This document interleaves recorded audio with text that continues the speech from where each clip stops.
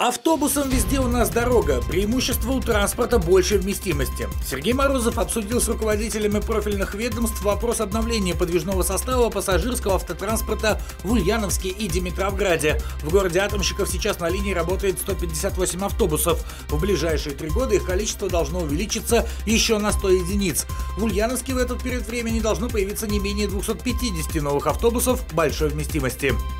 На остановке улицы Робеспьера транспорт в скором времени может и не остановиться. Выпускники и члены Комитета по сохранению памяти Ульяновского высшего военно-технического училища имени Богдана Хмельницкого выступили с инициативой переименовать остановку общественного транспорта на улице Карла Маркса в сквер военно-технического училища.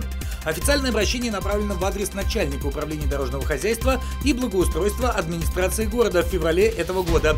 Районная администрация в соцсетях провела опрос, который показал 77% 90% респондентов из 1100 принявших участие идею поддержали.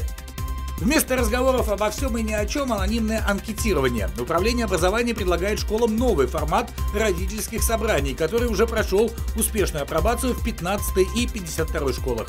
Механизм прост. Для того, чтобы не тратить время на обсуждение второстепенных вопросов, родительская общественность совместно с педагогом сможет сконцентрироваться на действительно важных моментах, которые волнуют большинство.